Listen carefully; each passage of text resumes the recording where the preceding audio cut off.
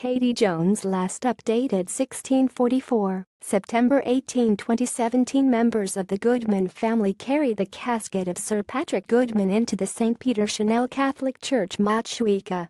Tributes have been paid to a great inspiration and gentleman the prominent businessman Sir Patrick Goodman, who was laid to rest in his hometown of Motueka. Nearly 400 people filled St. Peter Chanel Catholic Church for the Requiem Mass on Monday to remember the man who turned his family baking business in the town into a global enterprise. Sir Pat was the founding chairman of Quality Bakers New Zealand, which merged with Fielder Gillespie Davis and Allied Mills of Australia and Wattie Industries to become Goodman Fielder Wattie in 1987. Sir Patrick Goodman was described as a great inspiration and gentleman at his funeral in Motueka. He died in his Motueka home at the age of 88 on Saturday, 9 September. Read more philanthropist, arts patron, businessman Sir Pat Goodman dies Sir Pat Goodman leaves Motueka legacy Goodman was knighted in 1995 for services to business, the arts and the community. Sir Patrick Goodman was farewelled in Motueka. He was a storyteller and had an enormous memory and affection for everyone, his son, Patrick Goodman Jr. told the congregation. He was a giver of hugs and handshakes, a believer and promoter of community values, always encouraging people to strive to do better themselves. He had the ability to talk to everyone from all walks of life and accentuated the importance of pausing to smell the roses, Goodman said. A photograph of Sir Patrick Goodman and Lady Hilary Goodman at the funeral for Sir Patrick Goodman in Motueka. Dad's life took him to all corners of the world, but he always called Motueka home.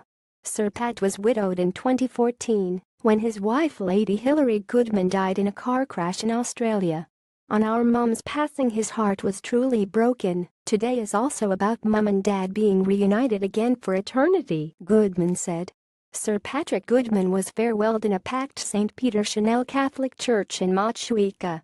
The couple used to divide their time between their farm south of Sydney and the original family home in Motueka. Sir Pat and Lady Goodman maintained private lives but remained active in the Motueka Catholic Church and helped build the St. Peter Chanel Church in which the service was held. The Goodmans also made significant donations to Motueka's health services Motueka's Recreation Center, and to the arts in Nelson, including the Suter Art Gallery. Sir Patrick Goodman and Lady Hilary Goodman. Mourners were told Sir Pat's heart broke when he lost his wife in a car crash in 2014. Gallery chairman, Craig Potton, praised the extraordinary legacy left by family friends Sir Pat and Lady Hilary, who started the Goodman Suter Biennale Art Prize.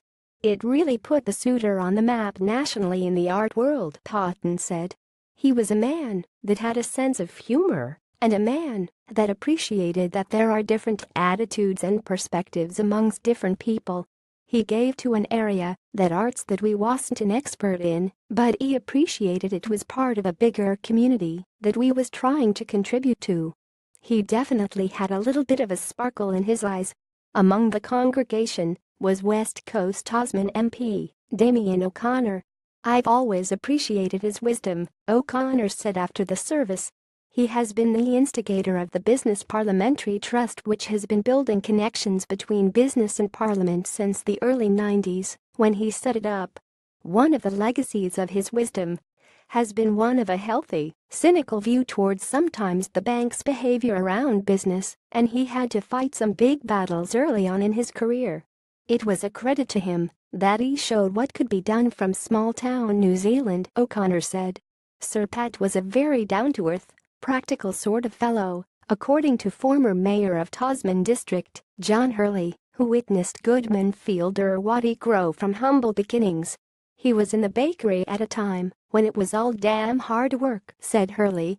The Goodmans' three sons, prominent businessmen, Patrick, Greg, and Craig, were among the pallbearers.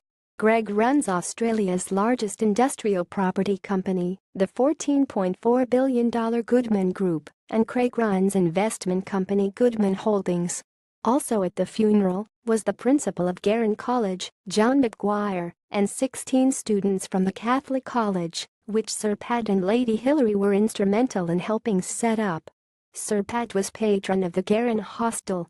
Hostel Trust chairperson, Phil Donaldson, was Goodman's solicitor and neighbor.